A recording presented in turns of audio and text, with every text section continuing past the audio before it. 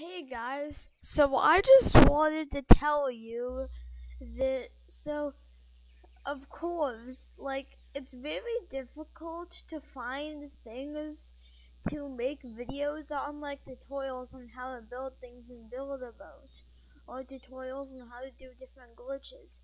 It's just really difficult to figure out those things and really I probably will not be doing those videos very often since it's very um it is very little that glitches come out.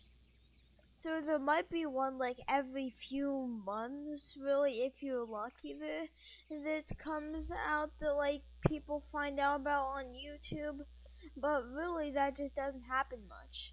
So I am going to be doing more streams and videos on gaming for now than uh, of play than of like doing glitches and things like that. And yes, that uh, yes, I am gonna continue uploading. And honestly, probably the main thing that I will be doing is streaming. So that's why I needed to tell you guys.